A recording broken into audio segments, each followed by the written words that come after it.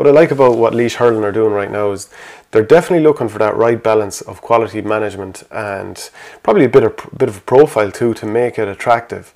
Like Eddie Brennan, he's he's after confirming that he's staying on for 2020. And like so, if you were from Laois and you were worried about this, I'd say you're delighted that it's been it's been nailed down. Um, but like if you look at some of the other competition in the in Munster and Leinster, Galway are waiting on a manager, Waterford waiting on a manager, Clare haven't confirmed their plans for next year. It's not really something that you want to be worrying about at this stage of the year. You want your manager in place, you want everything planned. Players that are already out of the championship or, or will be out of their club championship in the next week or two, you want to get them on programs, make sure rehab is being done for anyone that's had surgery or, or has had knocks so for, for Laois now, they've got their man in place, no doubt. Niall Corcoran will be with him. Worked really well last year. They steamed through to Joe McDonagh with minimum fuss, beat Dublin, of course, and then gave a creditable account of themselves against uh, Tipperary.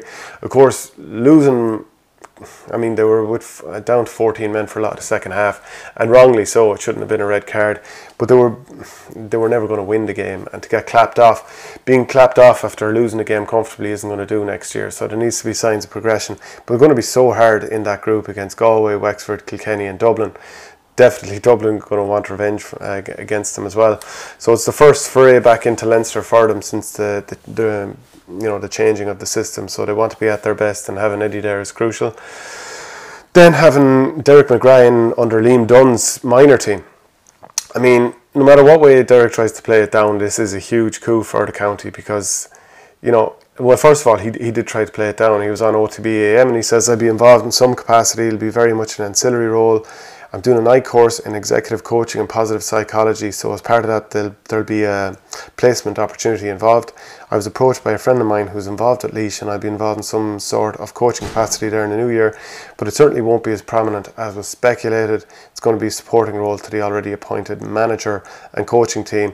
So it's a means of accelerating his own process and get better at what I didn't do well when I was involved with Waterford.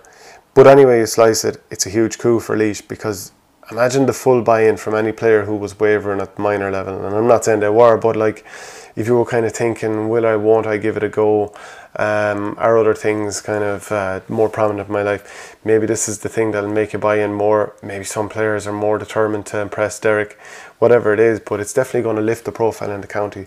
And having two guys like Derek McGrath and Eddie Brennan, two lads who people see regularly on the Sunday game, that's going to get full buy in in the county. That's going to get people more interested in. And considering that they've now got quality coaching behind them and results behind them, it just seems like a win win for Laois.